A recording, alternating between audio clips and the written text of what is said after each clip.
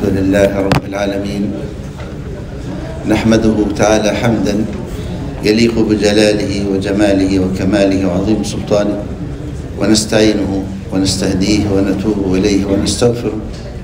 ونعوذ بالله من شرور أنفسنا ومن سيئات أعمالنا.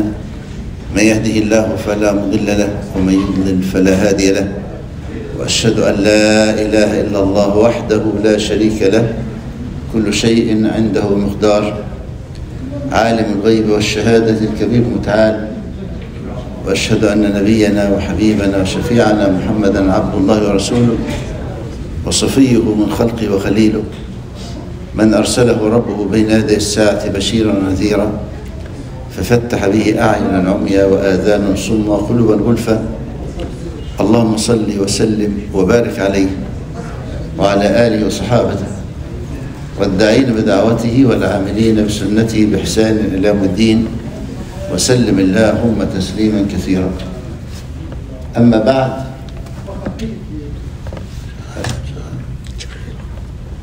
أما بعد إخواني في الله وأحبابي في الله وصلنا المحطة الأخيرة في هذا اليوم الأخير حول هذه السلسلة في حل المشاكل الأسرية. وتوقفنا بالأمس مع قوله تعالى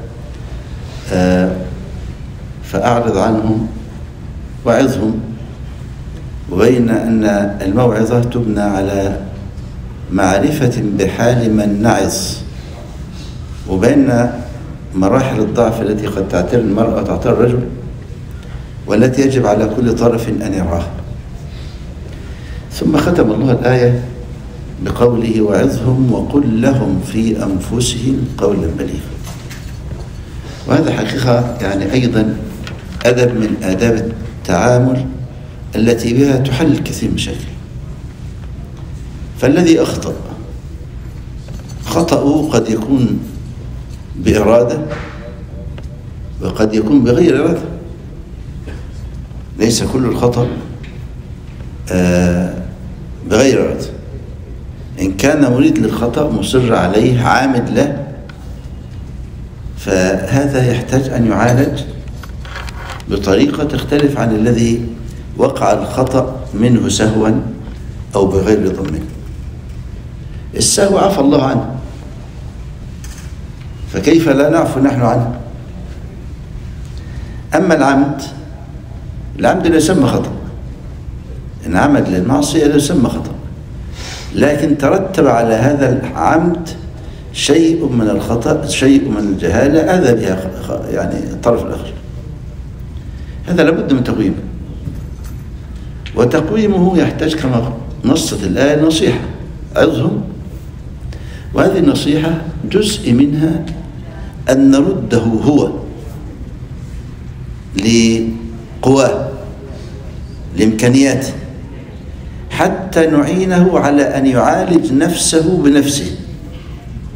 العلاج يا إخواني لا ينزل السماء ولا يعطى في كبسولة إنما الإنسان كما قال تعالى بل الإنسان على نفسه بصيرة ولو ألقى معذيرة فإحنا نعينه على التبصر بعيبه ودائه. ونعينه على الخلاص من هذا العيب والداء. نعالج.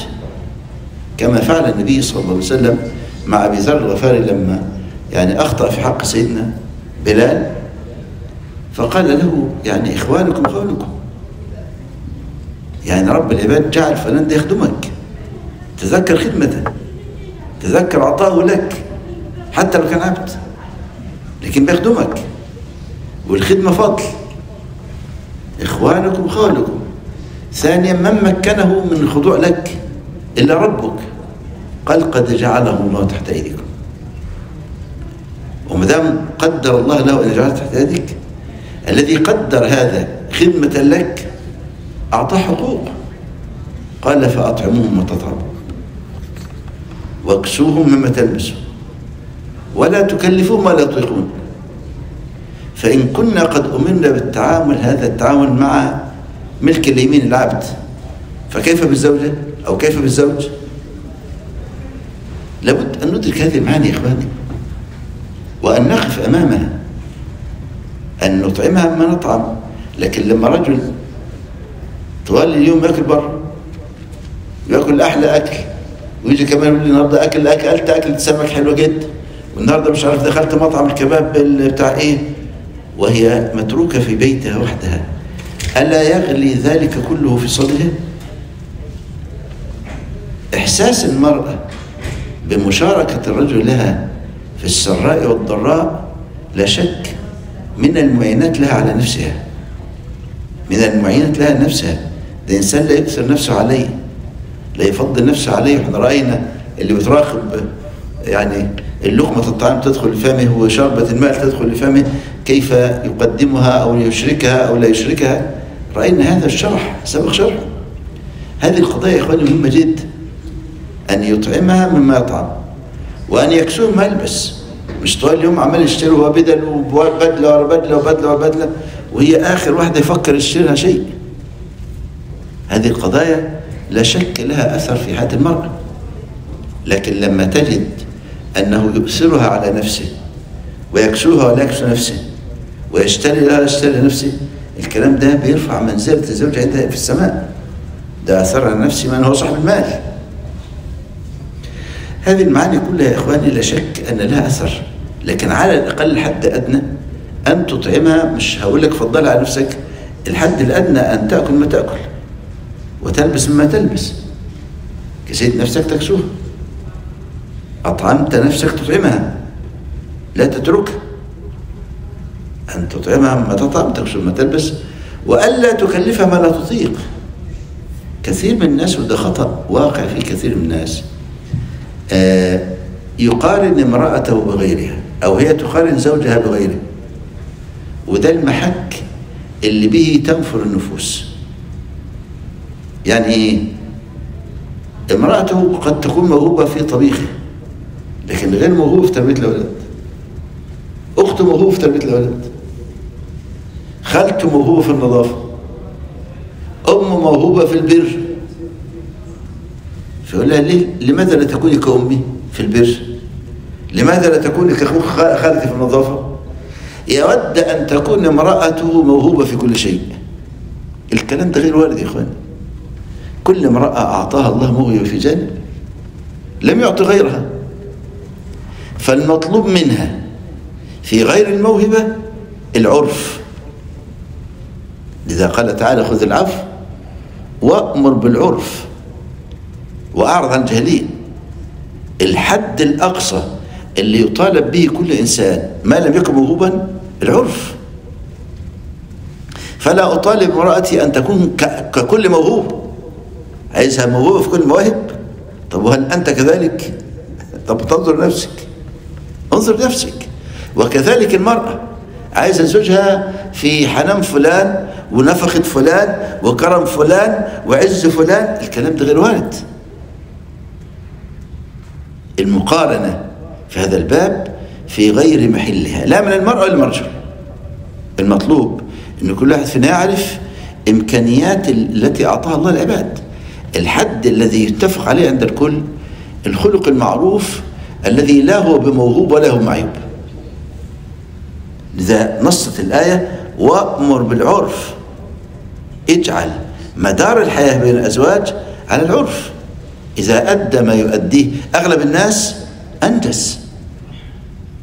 أنجز. وإذا هي أدت أغلب ما يؤديه النساء أنجزت. لا نطالبها مزيد. لا نطالبها مزيد.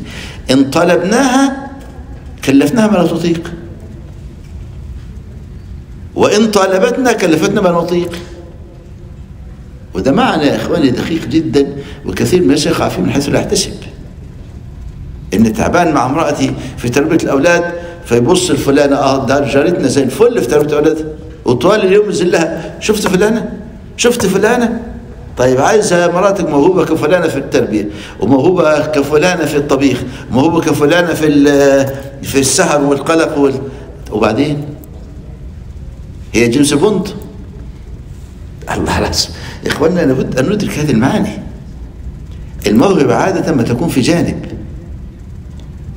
ولو نظرت لجاراتك وقريباتك في الجانب اللي امرأتك موهوبة فيها لوجدت عند جميعهن نقصا.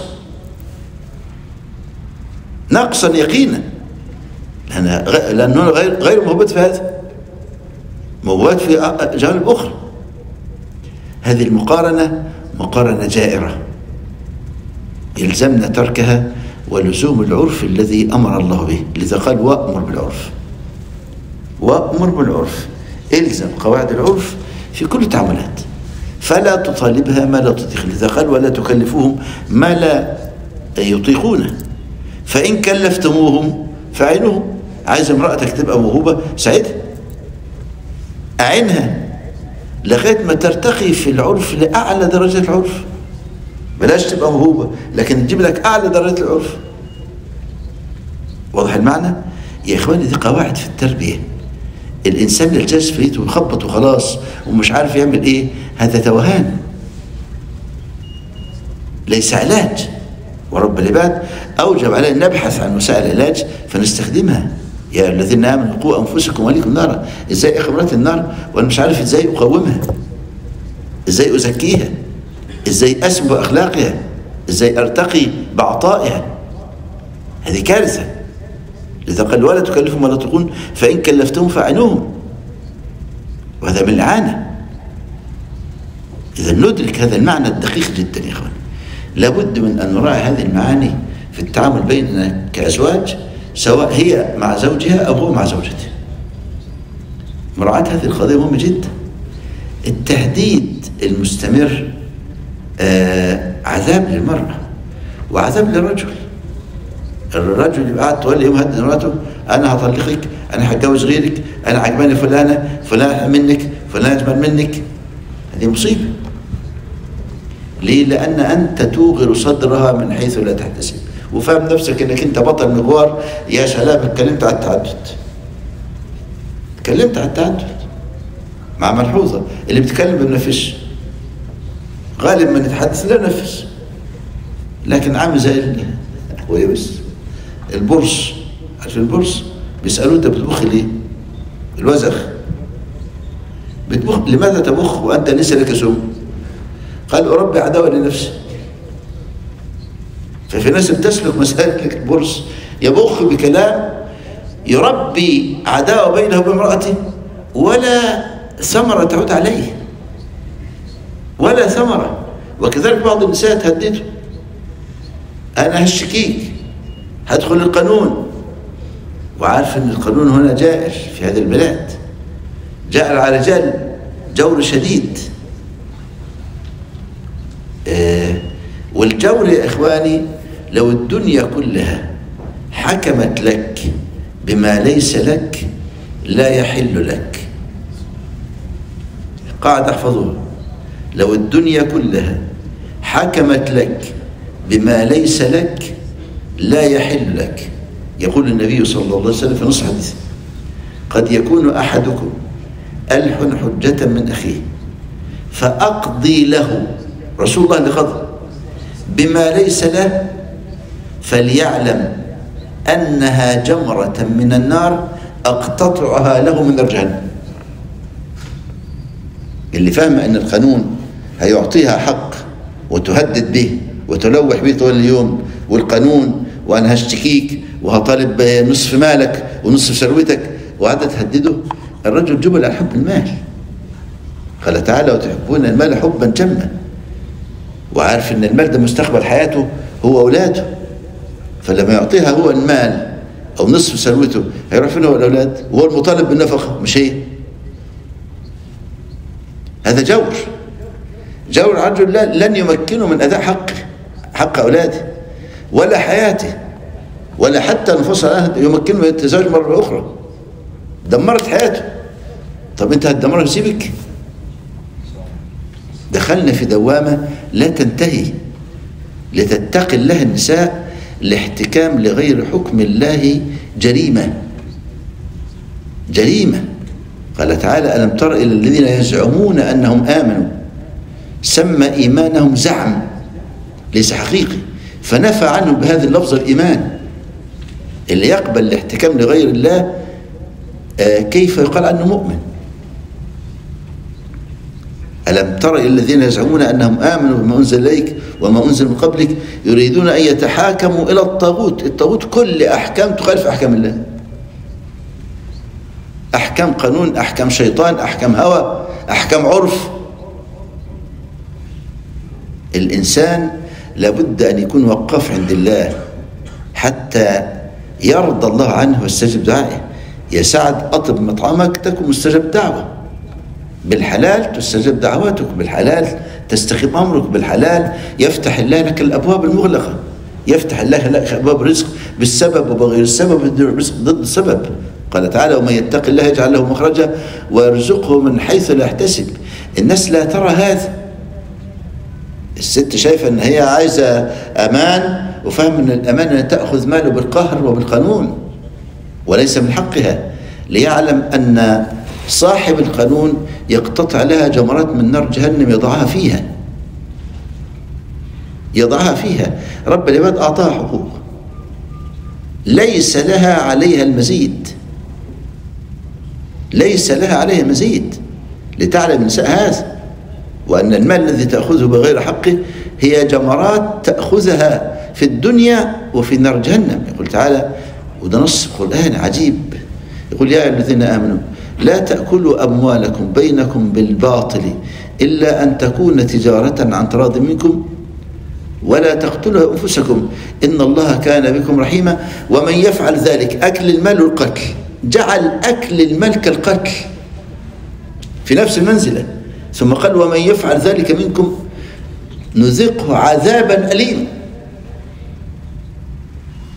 اللي يستحل مال الغير أو يستحل إزهاق روحه استوي في العقوبة ومن يفعل ذلك عدوانا وظلما فسوف نصليه نارا. وكان ذلك على الله يسيرا. لا تنظر المرأة لقضية أن حصلت المال. طب والمال ده اللي جاي من حرام أتفرين من عقوبة يوم القيامة؟ لابد أن تدرك النساء هذه المعاني. قضية إننا نفرح وفي مؤسسات عمال تلعب على النساء وفي عقول النساء عشان تشتكي وتعالي وهجيب لك نص ثروته وفرحانة هي موت إنها ظفرت بهذا المال وتنسى أن هذا المال لا يحل لها.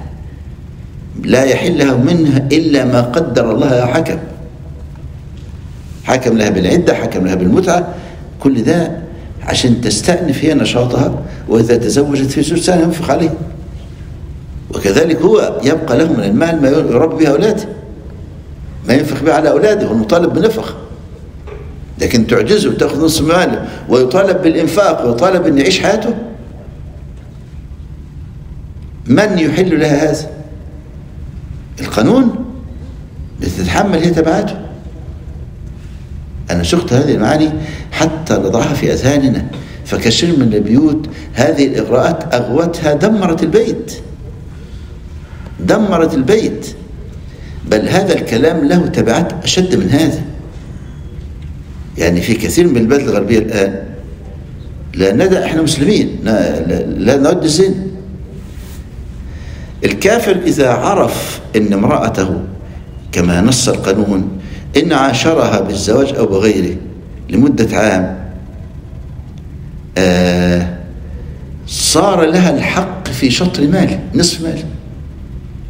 بالزواج أو بغيره يعني لو أثبتت أنه نام معاها لمدة سنة من غير عقد زواج لا شطر مال الزين.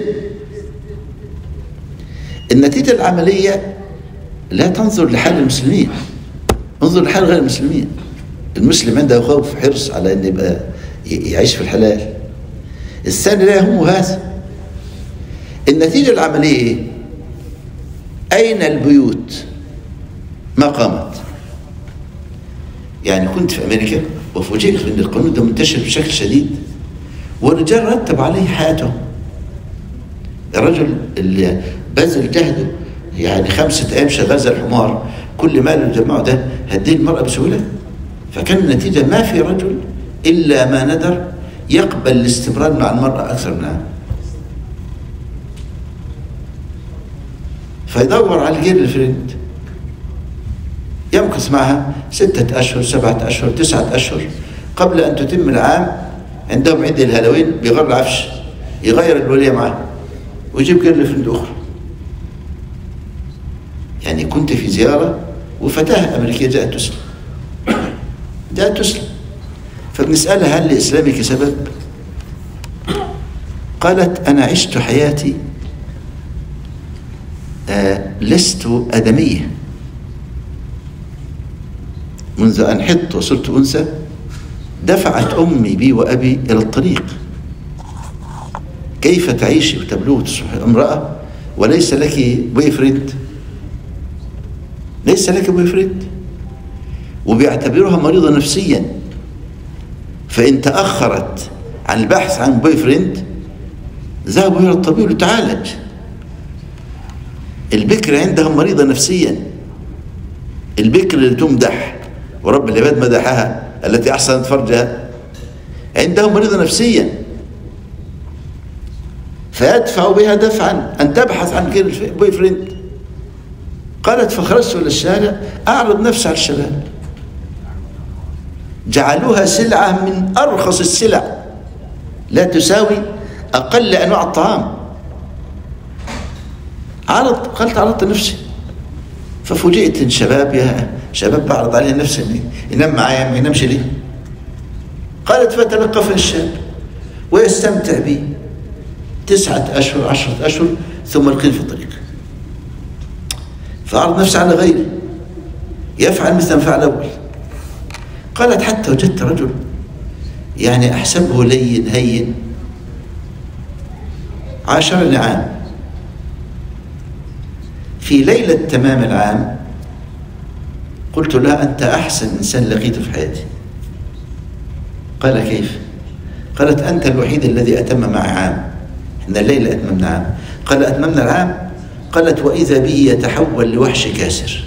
أخذني بثياب نومي في منتصف الليل وألقاني في الطريق. في منتصف الليل. حتى يتفادى سيف القانون.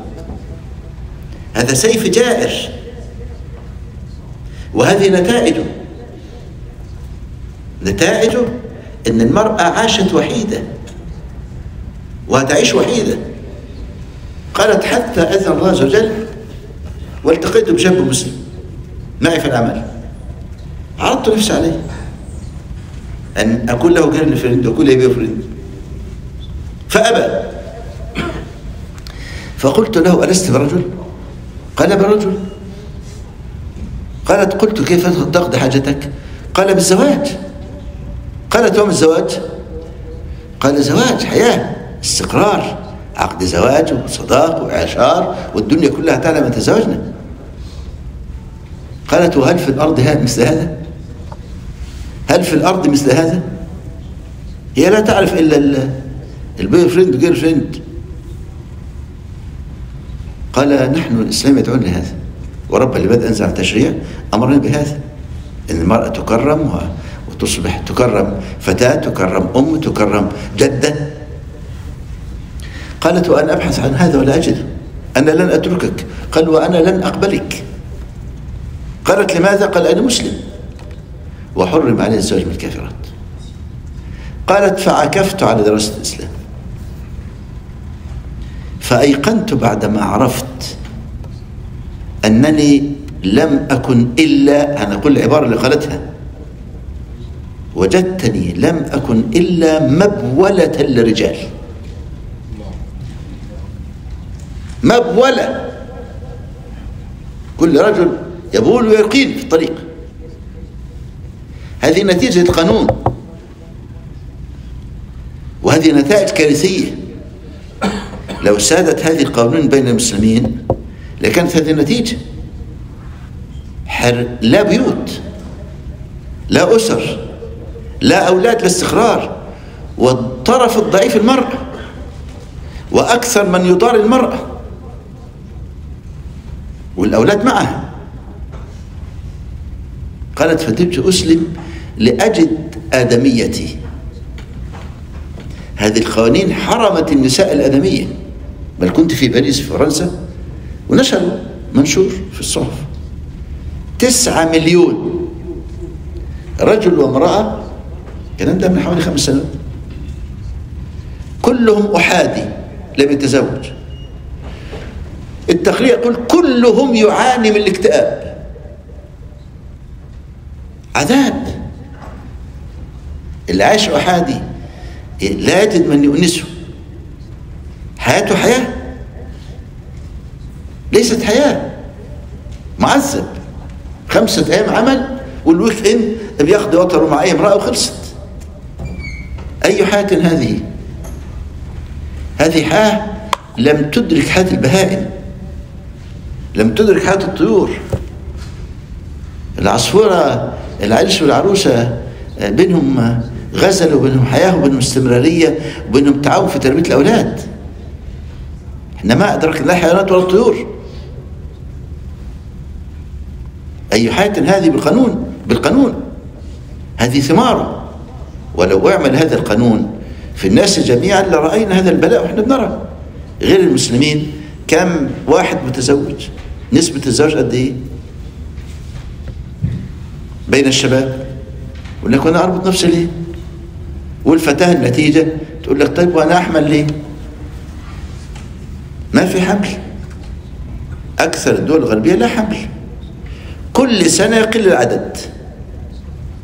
وهم الآن يعاني الغرب كله من قلة النسل. آخر إحصائية يعني نشرت في أوروبا أن نسبة نسبة التناسل في أوروبا واحد وثلاثة من عشرة في المتوسط. واحد وثلاثة من عشرة معناها سنة 2050 لا يبقى الجنس الأبيض. هم يعانوا. بسبب ما وضعوه وما زرعوه من قوانين زعموا أنها تضمن للمرأة حقوقها فجعلوا المرأة فوق الرجل. طب النتيجة الرجل فر. بياخد وطره بأي طريقة وخلصت. يربط نفسه ليه؟ يربط نفسه بأسرة ليه؟ كان النتيجة إن صار حمل الأولاد على من؟ على من تحمل على الأم. هي المطالبة أنها إن حملت بالزنا أن تربي الأولاد أن ترعى الأولاد في صباهم وفي شبابهم. كم امرأة تتحمل هذا وحدها؟ من غير أب. النتيجة إن فعلت هذه مرة تعتبرها غلطة عمرها. لا تكررها بل أغلب الفتيات تشترط قبل الجماع أن تضع المحاجز والمانع. لا تود أن تحمل. تود أن تستمتع تستمتع ما جهنم. هذا واقع. يملأ ديار الغرب كله. ثمرة هذا القانون. لا نظن أن قانون غير قانون الله ينصلح به العباد. أنا شفت هذه المعاني لأن هذه قضية خطيرة يا إخواني جدا. وجرائم بترتكب في حق الإنسانية. وده اللي بيخلي الغرب كله بيطلب الهجر. الهجر عشان إيه؟ عشان يعوض النقص. بل يعني أحكي طرفة كنت واقف في شارع باريس. فأخي بيقول انتظرني بس عشر دقائق هجيب السيارة رجلك كل الأطفال اللي مروا أمامي أمهاتهم محجبات. وهذا ما جعل معانوا أن نسل المسلمين بيزداد ونسلهم ينتهي. بل في بعض الدول أحلت أحلت قتل الأطفال. فإن حدث حمل حمل مع هذه المرأة التي لا زوج لها ولا تود أن تتحمل تبعات الطفل تسقطه. فإن لم تسقطه فعند الولادة تقتله. آلاف الأطفال بتقتل حديث الولادة عند الولادة. جرائم. جريمة يترتب عليها جريمة وجريمة يترتب عليها والقانون. ولا أحد يتحدث عن أضرار هذا القانون. اللي اعتبروه مفخرة في توفير حقوق المرأة أنا شفت هذه المعاني حتى لا ينظر الإنسان للقانون بحاله هو فقط دون أن ينظر إلى النتائج القائمة في الأمة. رب العباد لما وضع قوانينه أعطى الرجل أن ينفق على قدر سعته سواء في حال زواجه في حال حياته في حال طلاقه. يبقى حال زواجه. ربنا يقول له ينفق ذو سعة من سعته ومن قدر عليه رزقه فينفق من أعطى الله. وساعة الطلاق نقول له لا تعالى تدفع ما لا تطيق. طب هيجيب من فين؟ هيعيش طول عمره يسدد نفقات المرأة اللي القانون ألزم بها عند الطلاق؟ كانت النتيجة دمار البيوت وقهر الرجال. والرجل إن قهر من الطرف الأقوى هو ولا هي؟ وإن كان معها القانون لكن آه، عقلا وجسما هو الأقوى وهي الأضعف. هيمكر بها بأي سبيل وبأي حيلة وفي الحديث يغلبنا الكريم ويغلبهن لئيم. الرجل لو تلائم أمره سيغلبه فبدل من أن نحمي رجال بشرع الله أن يكونوا كرماء بالقانون نحولهم كلهم لؤماء. فنحول الرجال للؤم. والمكر والخداع وازاي يوصل بأي طريقة يحمي نفسه من القانون. ودخلنا في صراعات ما أنزل الله بها من سلطان. ماذا جنت المرأة غير أن عذبت نفسها وعذبت زوجها وعذبت أولادها؟ ماذا كسبت؟ ماذا كسبت؟ دمرت البيت. ودمرت حياتها ودمرت أولادها. يتمتهم وأبوهم حي. إما أن يحرم من أبوهم أو يحرم من أمهم. هذه كوارث. أنا أسوقها حتى نتعلم أننا في في قوانين آه الاحتكام إليها دمار. يتضع هذا كل أخت مسلمة نصب عينيه أن سقت هذه المعاني حتى نقرأ المشهد قراءة صحيحة لا قراءة الغريق اللي عايز أي شيء يتعلق به. هي شعر أنها طلقت وأنا غريقة. طب أروح فين؟ بتروح فين؟ اللي تكفل برزقك قبل زوجك يتكفل برزقك. وهل ترك الله أحد لم يرزقه؟ لكن نرزق بالحلال. نساء الصحابة كانت المرأة تودع زوجها عند الباب وتقول له نحن أمانة في عنقك. لا تطعمنا حراما ولا تكسونا حلالا. نصبر على الجوع ولا نصبر على الحرام. ده منهج نبوي تربوي.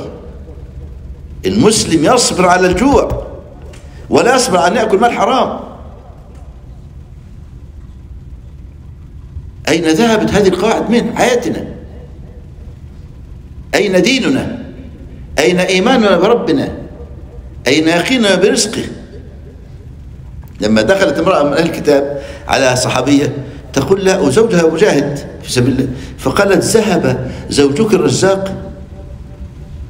قالت ويحك الرزاق موجود. والله ما علمت زوجي إلا أكالة. ما علمت زوجي إلا إيه؟ أكالة. أنا هنا أكل رزق الله اللي بيرزق موجود.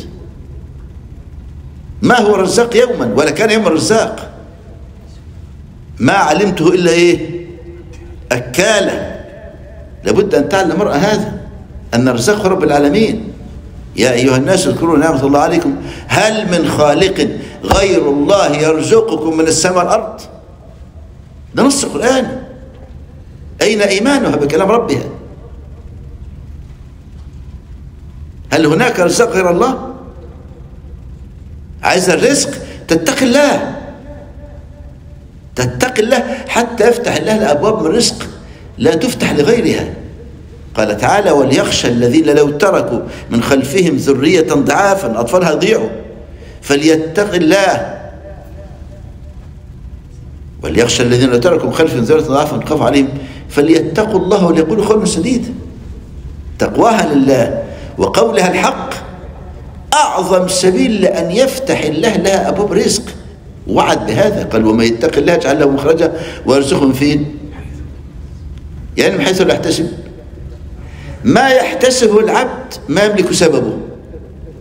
يبقى ما له سبب. أخذ بالسبب جاءه الرزق نتيجة السبب. هذا يحتسبه. أما ما لا يحتسبه أن يأتيه الرزق من غير بغير السبب وبضد السبب. وبضد السبب. لو أنها اتقت ربها لجاءها الرزق بغير السبب وضد السبب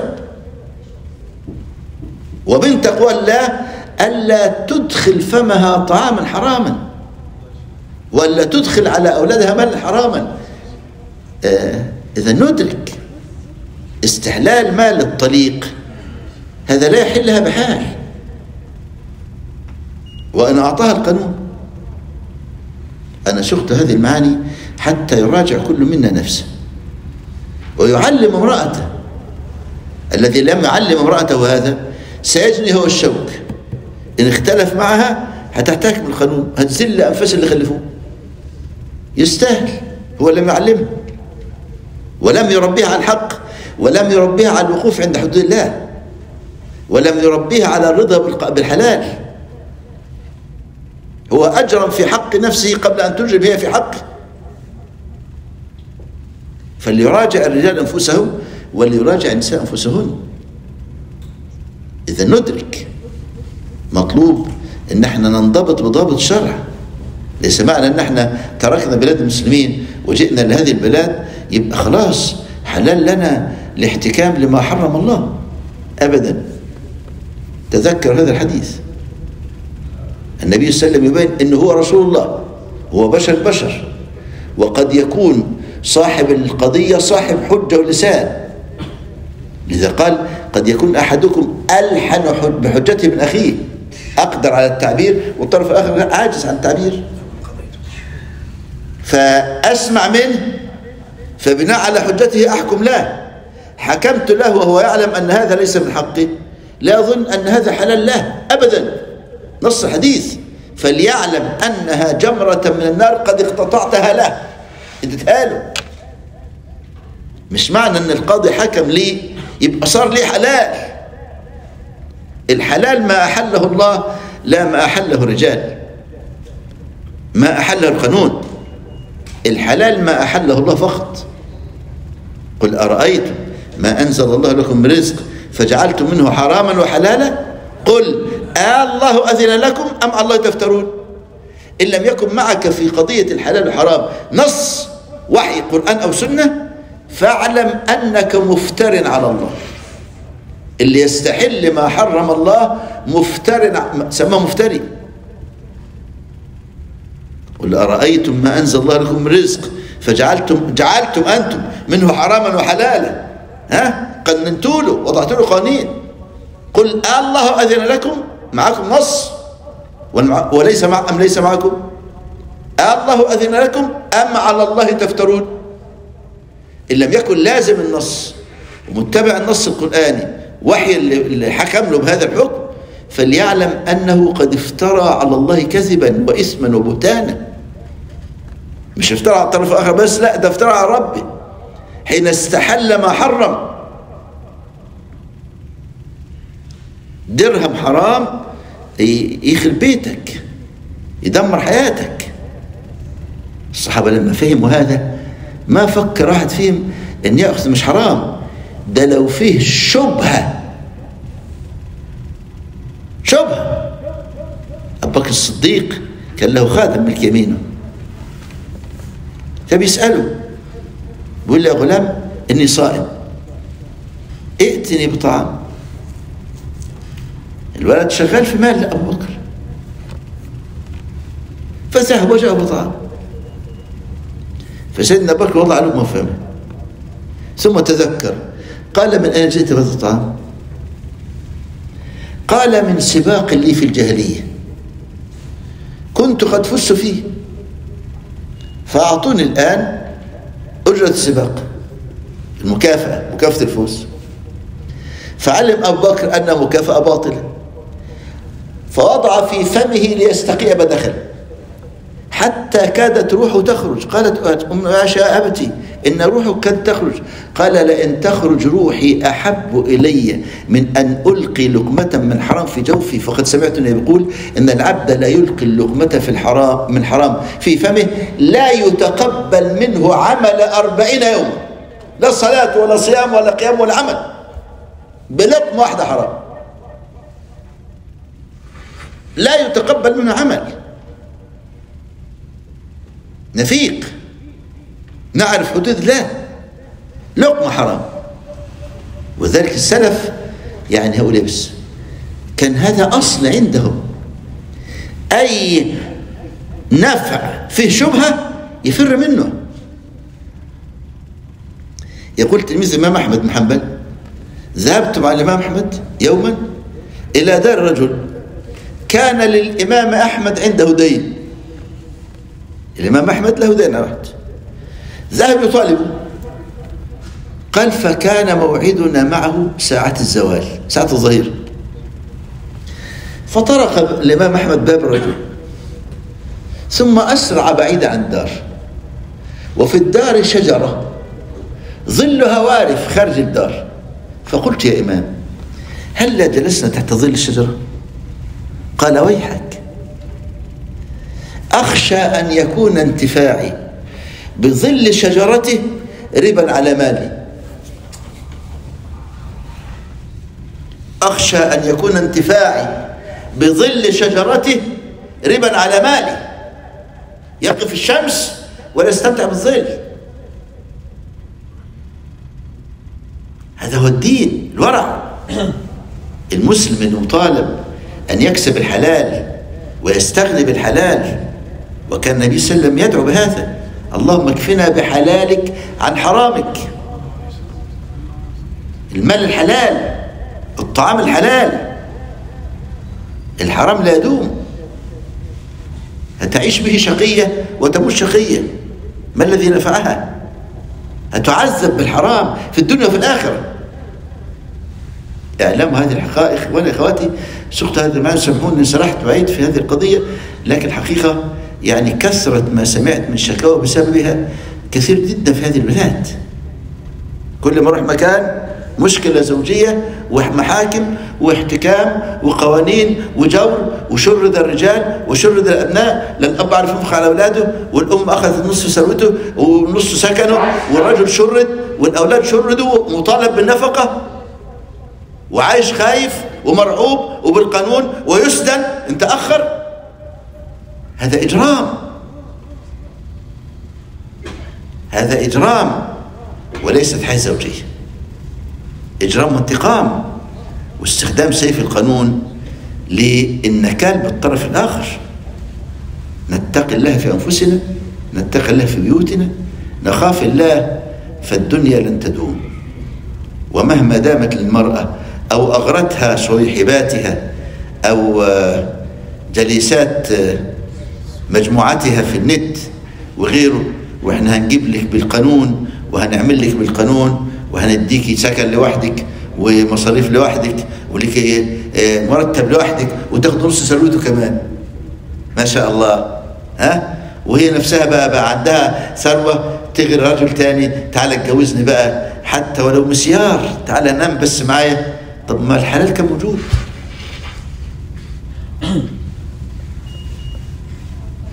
كارثة بل كوارث ترتبت على هذا. نرجع لموضوع يا إخواني مرة أخرى. الوعظ للمرأة التوجيه للمرأة النصح الدائم بين الزوجين.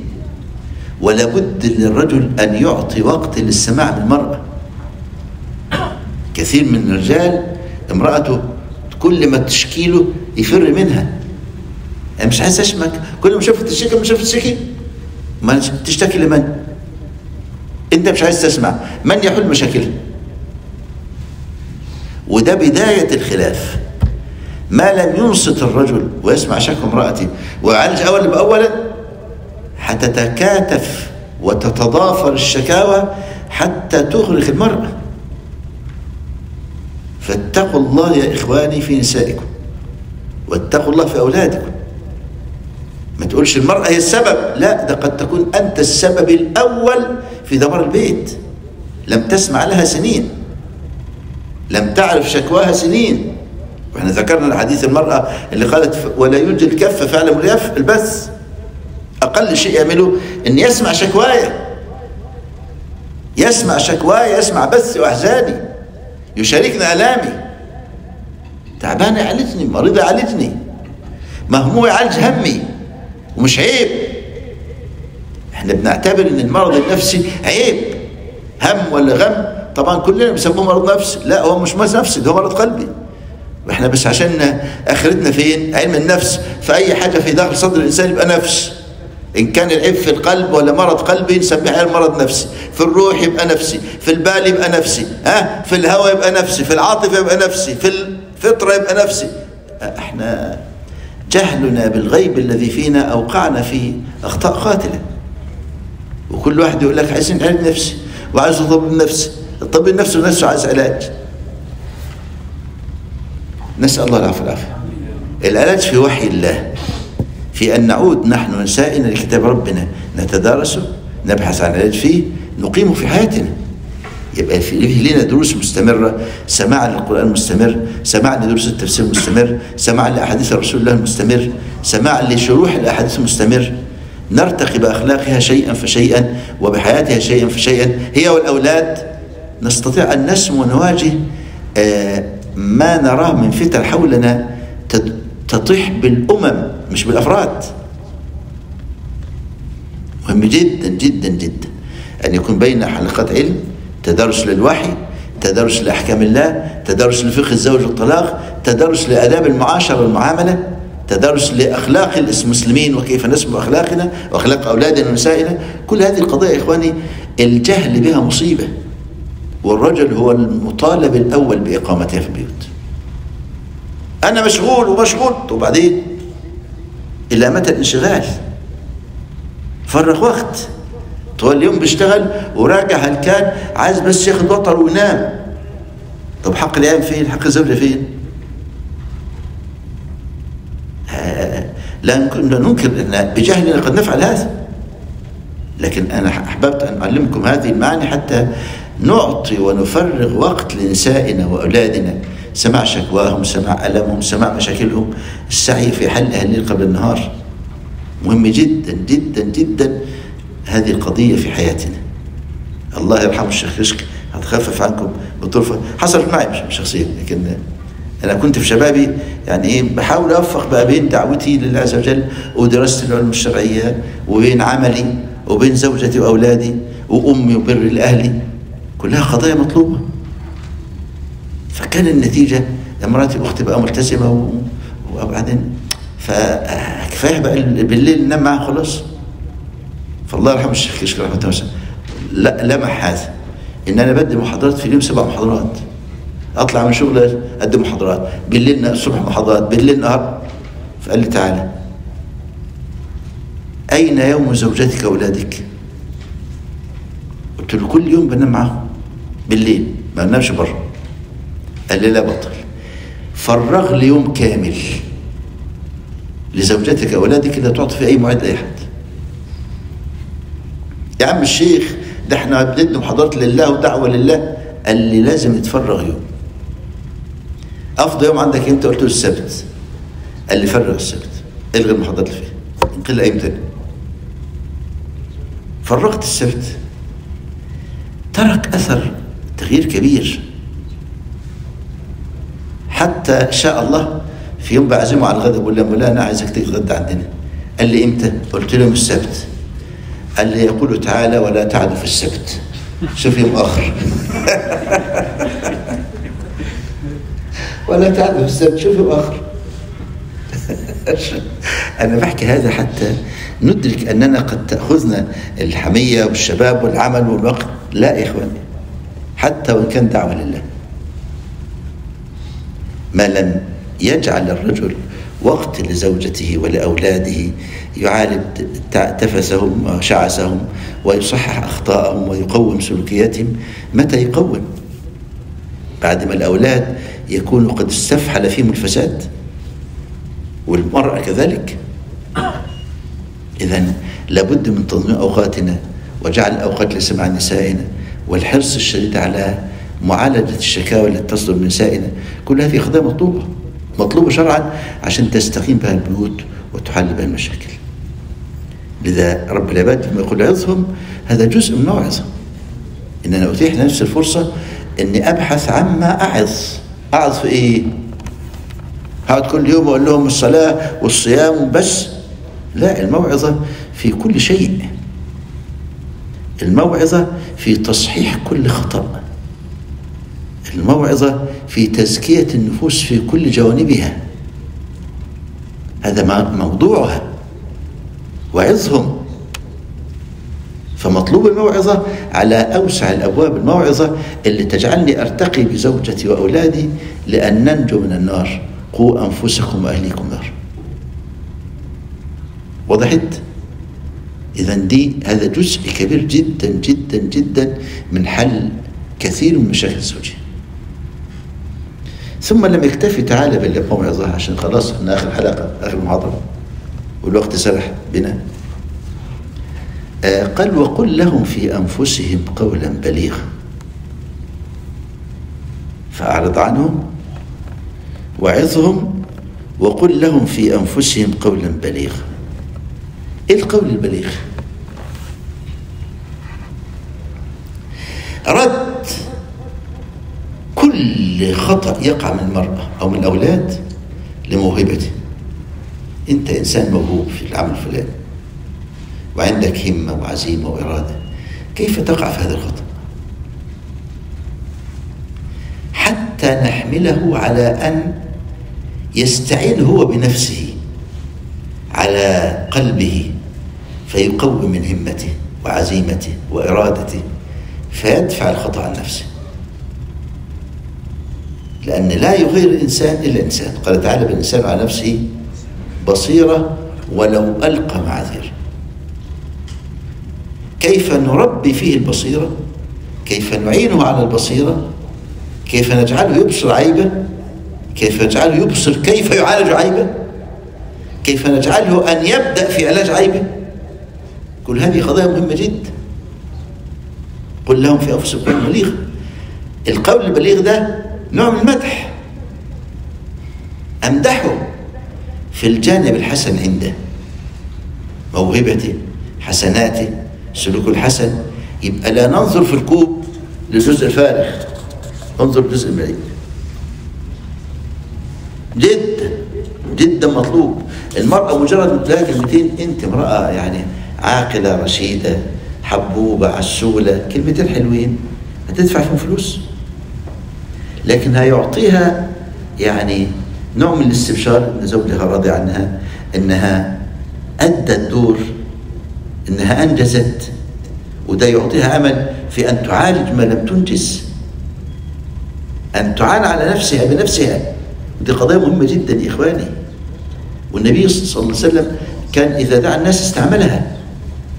ما سبب اسلام خالد بن الوليد؟ هذه العبارة. قل لهم في انفسهم خالد خالد مش شخص عادي. خالد كان قائد عسكري في الجاهلية. وبطن خزيمة هم المتخصصين في الفرساء الفرسية. قريش كان كل بطن ليه تخصص. تخصص بني خزيمة كان الفرسيه فكان كل جيوش قريش اللي يقود فرسانها بني خزيمة مخزوم. اللي منهم خالد. ولذلك في أحد كان هو قائد الفرسان. هو قائد الفرسان خالد. الشاهد خالد فارس وعقلية ومحنك عسكريا. بل سبب هزيمة المسلمين في أحد كان خالد. فلما حضر الحديبية حضر مع المشركين. وكان أول مرة يلتحم المسلمين مع المشركين وجها لوجه. غير قتال. ده سين تفاوض فسيدنا خالد رأى منظر عجيب لم يرى في حياته. النبي يتوضأ. والصحابة حوله يلتقطون كل قطرة ماء تنطف من من أعضائه اللي هتنزل من أنفه من أذنه من إيده تجد يد تتلقفها ويمسح بها وجهه. حتى النخام المنظر لفت انتباه. إيه اللي بيعمله ده؟ لما عاد من الحديبية النبي لاحظ نظرات خالد فقرأ موهبته وذكاؤه فنادى أخوه المسلم الوليد قال كيف لا يسلم خالد؟ وعقله عقله. كيف لا يسلم خالد؟ وعقله عقله الكلمتين دول كلفونا إيه؟ أخوه أرسل له رسالة. رسول الله قال فيك كذا. غيرت كل الموازين عند خالد قال حقا. كيف لا أسلم وعقلي عقلي؟ والله لقد رأيت ملك والروم فما وجدت أحدا. يعظم أصحابه كما يعظم أصحاب محمد محمد. لقد رأيت يوم الحديبة وقطرات مائه تنطف ومن حوله يلتقطون قطرات مائه فيمسحون وجوههم حتى النخامة. فمن جاء منهم لم يدرك من مائه شيء أخذ بيد أخيه فمسح وجهه. وفيهم خلاني كنت أعرفهم وأعرف أن فتهم مترفعين متكبرين في الجهلية فلا أحسبهم. حملهم على فعل ما فعلوا إلا عظيما رأوه من رسول الله لم نراه فكيف لا أسلم عقلي عقلي؟ ثم نطق الشهادتين وانطلق قال لا أحرم هذا الخير صفوة خلان طلحة. راح لسيدنا طلحة. دعا الإسلام فأسلم وهاجر خالد وطلحة ولقيهم في الطريق عمرو العاص. فدخل الثلاثة القادة على رسول الله وكانت فرحة عارمة. ثلاثة قادة مقدس قريش يسلموا في وقت واحد. ندرك كلمة في نفسه كيف أثمرت كيف غيرت كيف لا يسلم خالد وعقله عقله. التغيير هذا من شأه يقول عبد الله بن عمر. رأيت رؤيا. فقصصتها على حفصة. أخته أم المؤمنين. لتقصها على رسول الله أولها لي فقصتها على رسول الله. فقال من رؤيا هو عبد صالح. لولا أنه كان يقوم الليل فتركه. عبد الله بن عمر كان شاب 14 15 سنة. عبد صالح لولا أنه كان يقوم الليل فتركه يقول عبد عمر فما تركت القيامة بعدها حتى لقيت ربي حتى الموت. ندرك كلمة أثمرت أعانته على نفسه وجهته لمحل سموه فتوجه وده دور التربية. كيف ننتقي الكلمة اللي تجعل من أمامي الكلمة تؤثره وعلى فعل الخير تحمله. واضح المعنى؟ مطلوب أن نتعلم هذه القاعدة الشرعية. ده حكم الله يا مش كلامي. اللي أمر بهذا الأمر رب العالمين فأعرض عنهم وعظهم وقل لهم في أنفسهم قولا بليغا. كان نفسي أوسع فيها شوية لكن أنا عندي موضوع عايز أكمله قبل الوقت ما انتهي. كم بقى علشان؟ ها؟ ها؟ 30 دقيقة 20 دقيقة 20 دقيقة طيب فالقضية كبيرة. وكل دي قواعد في التربية وفي إصلاح البيوت. رب العباد جعلها نصوص ووحي. وأخلاق مشروعة. وأحكام قائمة. كل منه مطالب بإقامته في بيته مطالب في كل لحظة. امرأتي أخطأت. أمدح. أنت إنسانة كريمة صاحبة خلق صاحبة عطاء. إزاي تقع في هذا الخطأ؟ هتستحي من نفسها ابنك ذلك يا ابني أنت يعني أنت أنبل أولادي أنت أحسن أولادي في كذا. أنت يعني أكثر أولادي مثلا. في مجال موهبتي. أنت أميز أولادي في كذا. أنت أميز الأولاد في كذا. إزاي تقع في كذا. فأرده كما قال السلف يقول ابن القيم عبارة عجيبة. يقول وكأن الله عز وجل شاء أن الخلق الموهوب صار بمثابة تكى ومسند كلما ذل الإنسان نرده إليه فيكون سبب في تقويمه. يبقى أولا هذا الخلق الموهوب. سبب في أننا أغفر له ذلته فيستمر الإلف بين وبينه. ثانيا سبب في أن يعينه على نفسه. ليعالج عيبه. ليعالج عيبه. ليصحح خطأه. إذا ندرك الخلق الموهوب قوة أعطاها الله لنا نستفيد بها. أولا في غفران الذنوب له. وفي استمرارية الحياة والإلف بيننا كما جاء في الحديث المؤمن ألف مألوف ولا خير في من لا يألف ولا يؤلف لا خير في من لا يألف ولا يؤلف وطريق أن نألف الناس وألف الناس هذا سبيله. خذ العفو وأمر بالمعروف وأعرض عن جليل بدون هذه الآية لن نألف ولا نؤلف. بل في الحديث عد النبي من هذا حاله أقرب الناس إليه في الجنة. فقال صلى الله عليه وسلم أحب الناس إلي. وأدناهم مني أقربهم مني منزلة يوم القيامة. في الجنة في الجنة مع رسول الله؟ أي أيوة والله. أحب الناس إلي وأدناهم منهم منزلة يوم القيامة. أحاسنهم أخلاقا. الموطؤون أكنافا الذين يألفون ويؤلفون. إزاي أكسب اللي إزاي أكسب اللي بل رب العباد أعطانا سعة أوسع. يبقى أن أقول له القول الحسن مطلوب. ها؟ هذا القول الحسن حتى لو لم يكن فيه. حتى لو لم يكن فيه. الشارع مع أنه حرم وشدد جدا في تحريم الكذب أحله في هذا الموضع. وهذا من لطف الله عليه. الكذب النبي يسأل يا رسول الله أيجبن المؤمن؟ قال نعم. أيبخل المؤمن؟ قال نعم. أيكذب المؤمن؟ قال لا.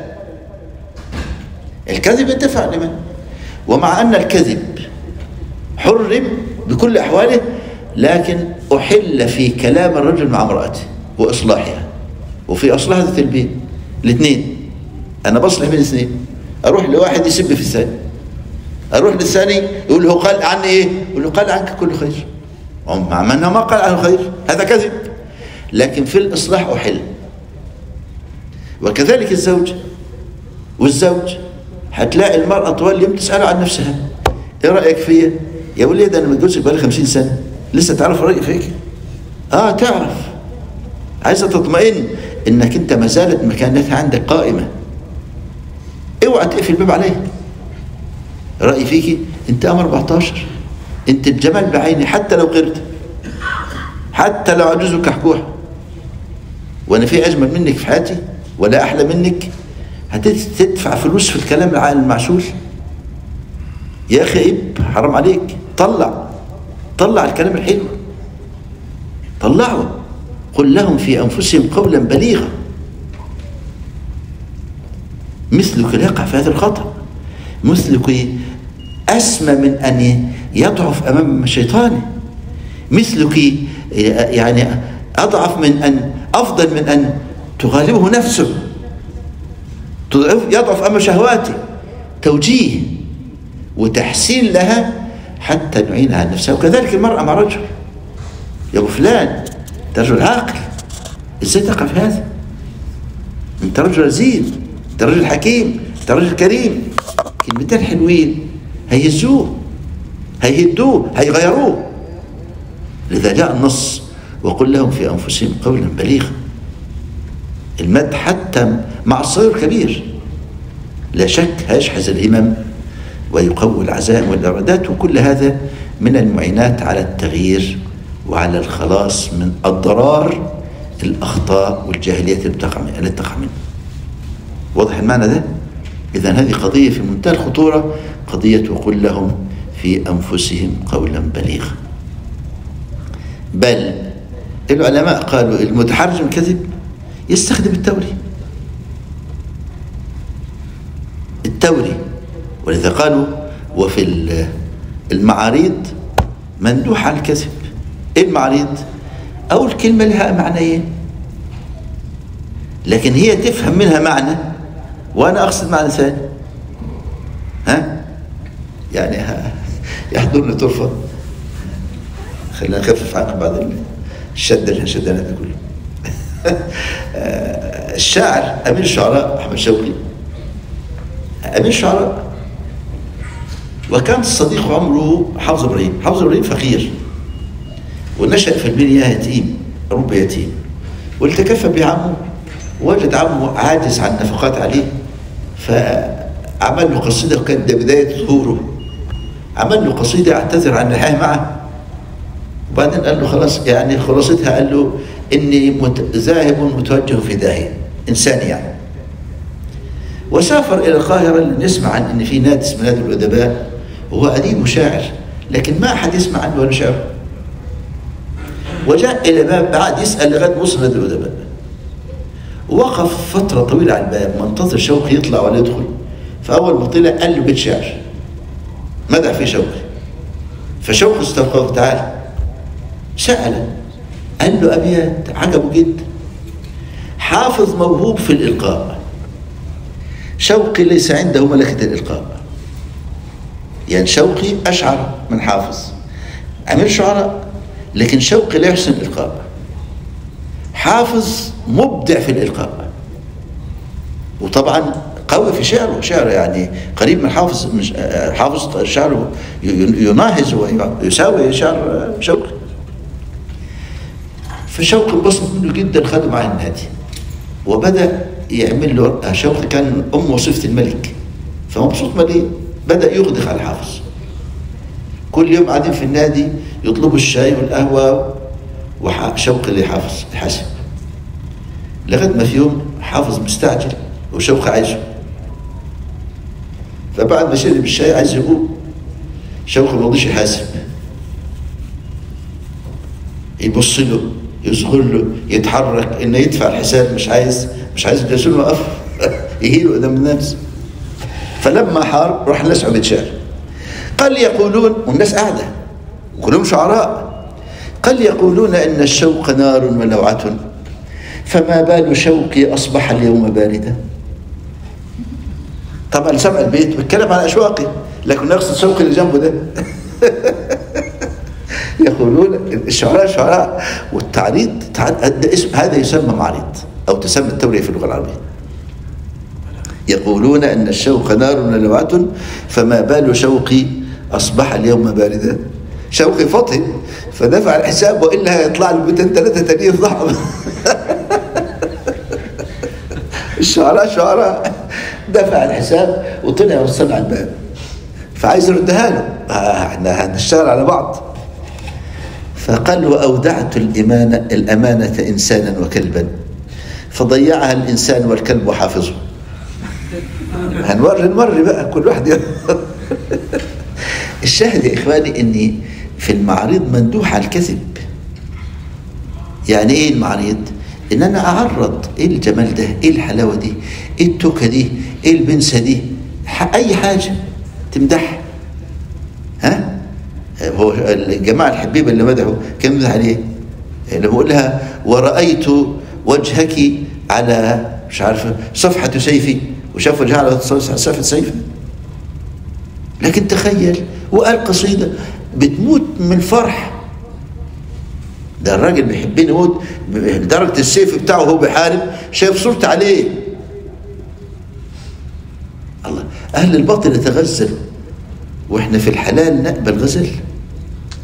ورب العباد أحله ورد جعله عباده وكتب لنا عليه أجر. نتغزل. نتغزل يا إخوان. ثم ما تشتهيه المرأة لابد أن نعالجه من أنفسنا. يقول ابن عباس في تفسير رضي الله عنهما في تفسير الله عز وجل ولهن مثل الذي علينا بالمعروف. ولرجال الجردة قال والله إني لأحب أن أتزين لامرأتي كما أحب أن تتزين لي. رايح داخل طالع يتزين يتجمل يشوف إيه العطر اللي مش اللي هو يحبه فممكن واحد فينا يكون يحب عطر هيجيب لها هي أزمة صدرية. يقول لك أصل ده ده الرخيص وده الحلو وده الأخ أهدهولي. لا أهدهولك خلوهولك ما تحطوش على عم قالوا ليه انتقل قبل العطر اللي ترضيه. يا سلام لما عطر ترضيها تبقى فرحانه موت يسن لنا هذا. بل ثبت في الحديث الموقوف أن امرأة جاءت لعمر قالت يا أمير طلقني قال هل لطلاقك سبب؟ قالت إن رأيت زوجي عرفته. لما تشوف زوجها تعرف سبب فأرسل له عمر فجاء. سائر الشعر ومنكوش ومش مسرح ولابس هدوم ريحتها ندنة. وحالته حالة. قال عمر آه، اكسوه. هاتوا له كسوه. جابوا له توب وفلنة وسروال. قال ادخلوا الحلاق. حلق له راسه ظبطها له. ادخلوا الحمام استحمى. لبس الثياب الجديدة دخل على عمر. طيبوه حطوا له عطر. قال ارسلوا لامرأته ارسلها جاءت. قالت قال لها عمر أيرضيك هذا؟ قالت يرضيني ما يرضي أمير المؤمنين. المرأة. يرضيني ما يرضي أمير المؤمنين. فقال عمر على مثل هذا أراك ولا أراك على غيره شفكش إلا على هيئتي مرة ثانية. إذا ندرك هذه القضايا يا إخواني لها أثر شديد جدا. لما رجل مدخن وريحة فمه معفنة طول اليوم يجي يبوس مراته تشمها منه تتخنق. ولا غاوي أكل بصل وتوم وكل ما قرب منها ريحة التوم والبصل تكرع في وجهها. الكلام ده يعني سموه يعني سوء أدب. نراعي هذا. رايح تعاشر اظهر في أسهل أجمل سينة حبة طيب وطيب شوف إيه اللي بتحبه بتحب المسك؟ ولا تحب العود. في نساء تحب المسك وما تحبش العود. في نساء تحب العود وما تحبش المسك. شوف أي الطيب يرضيها أي الهيئة ترضيها أي الثياب يرضيها. لما تلاقي عينها لبست بجامة معينة ولا, بدلة معينة فلين معينة عينها لمعت يبقى دي اللي تحبها تعمد أن تشتري لها مثلها أن تلبس بمثلها حين تأتيها. كل هذه المعاني إخواني مطلوبة لأن هذا من التقديم لنفسك. يقول تعالى نساءكم حرث لكم فأتوا حرثكم إن شئتم وقدموا نفسكم. كل المعاني ذكرناها دي يا إخواني داخلة تحت قوله وقدموا أنفسكم. إزاي هي امرأة نفسيا جسمانيا عقليا فكريا قلبيا عاطفيا؟ إنها تعطيني أسمى ما عندها. أنا قدمت هذا لها ثمرته فين عندي. هل تستوي المرأة التي يعاشرها الرجل وهو ضاربها ضرب العبيد ثم يعاشرها كالمغتصبة تعطيه عطاء المرأة المحبة؟ أبدا. أبدا يا إخواني. أبدا. هو نفسه بيبقى واحد لمؤاخذة عايز يخلص. لا يستمتع ولا يجد سلوته خلاف لما يكون قدم لنفسه فالمرأة بتعطيه أسمى ما عندها. تمتعه تتمتع معه. وده الأصل في النكاح. ودي قضية أختم بها دروسي أو هذه السلسلة آداب المعاشرة الزوجية. ابن القيم رحمه الله تعالى أنصح بهذا في كتاب زاد المعاد عامل فصل طريف اسمه أداب معاشرة الزوجية. حوالي ثلاث ورقات. ليتكم تطبعوها وتوزعوها على كل الناس. آداب المعاشرة الزوجية. النبي صلى الله عليه وسلم أمرنا بكل ما ذكرنا عند المعاشرة الزينة التجمل التطيب الاغتسال قبل المعاشرة وبعدها. المسلم لازم يكون في أحسن هيئة حين يأتي أهله.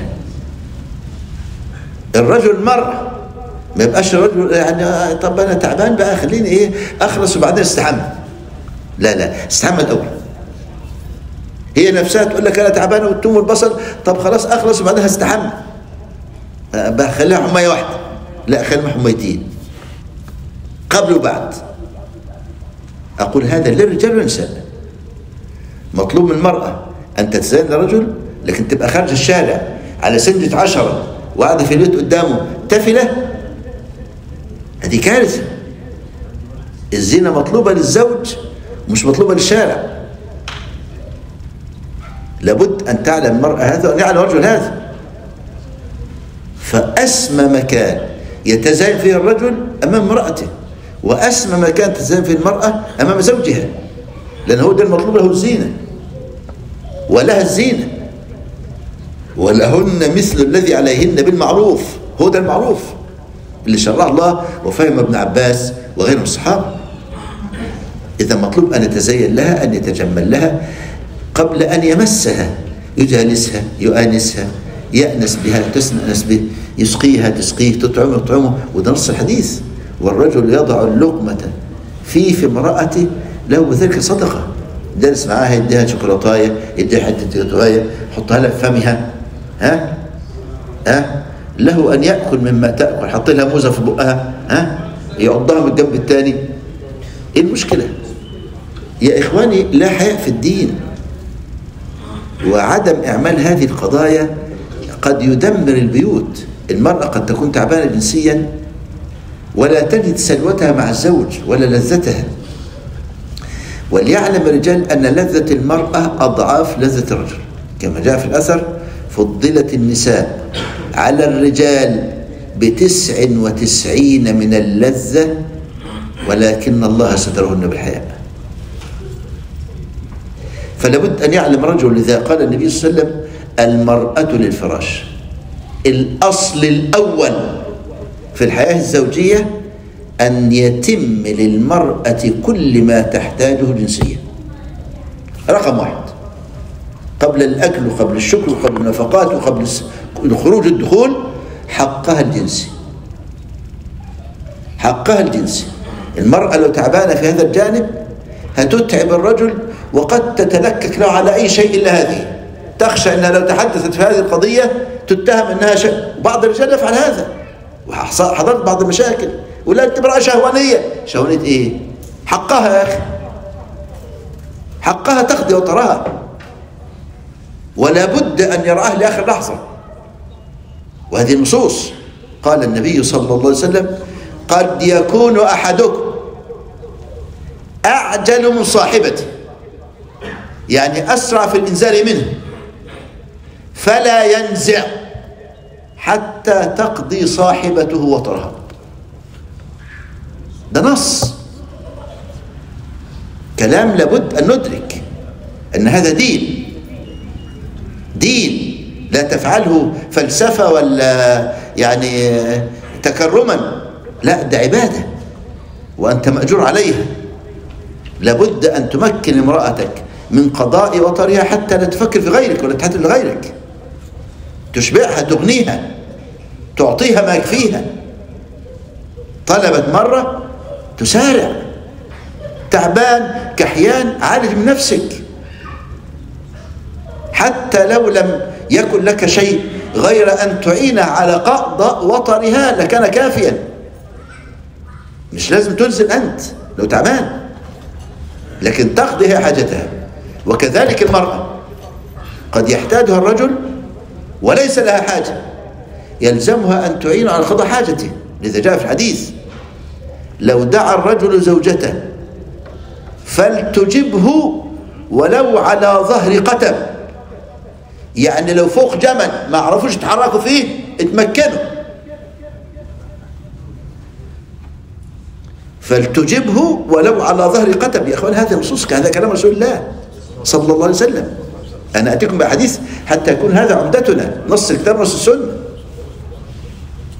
لابد أن تعلم المراه أن يعلم رجل أن هذا الحق لابد من أدائه ولا بد من تنظيمه.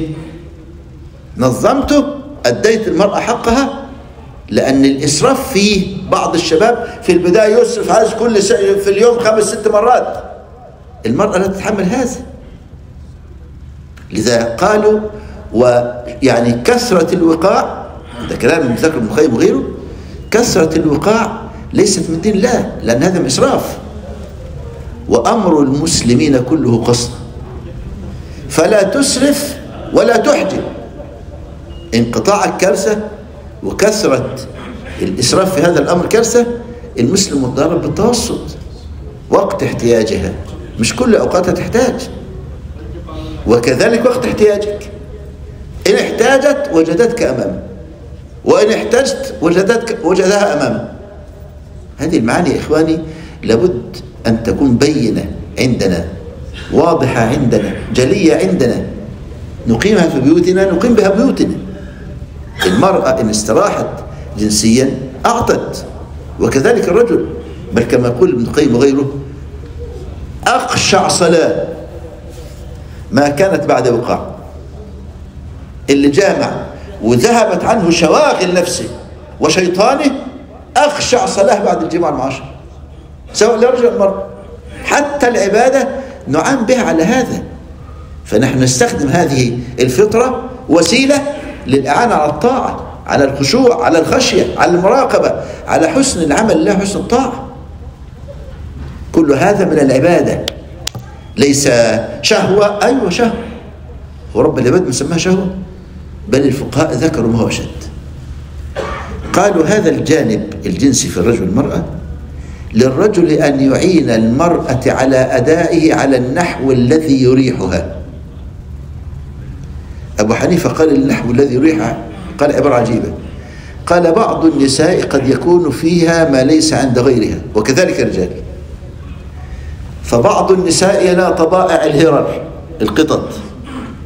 لا تجد سلوتها ولا تقضي وطرها إلا إذا عضها زوجها. القطة ما لم يعضها القط لا تستسلم له. طب نعمل إيه إذا ابتلت المرأة بهذا الداء؟ لو عضها عدوان ولو تركها حرمت قضاء وطرها قالوا يلزمه أن يضع خرقة على كتفها ويعضها حتى يمكنه قضاء وطرها وكذلك العكس. قالوا قد يكون الرجل هو الذي يحتاج لهذا. إن عايز هي اللي تعضه يضع خرقة ومكنها معض حتى يقضي وطره وتقضي وطرها أنا سقت هذه المعاني إخواني رغم أنها جارحة الحياء لكن لا حياء في الدين. حتى نعلم أن هذا الجانب جانب خطير ولا بد من الأداء فيه على النحو الذي يرضي الله فإن سلمت لنا بيوتنا وسلمت لنا يعني آآ آآ احتياجاتنا استقامت البيوت بدونها الاستقامة. لعلي أكون يعني إيه آه أنجزت وأوجزت في هذه المحاضرات قدر كبير من قواعد التي تسلم بها البيوت وتحل هذا المشاكل طبعا الأمر أكبر من هذا لكن ما قل وكفى. يقول العلماء لا تزوج بنتك لبخيل. نعم؟ لا تزوج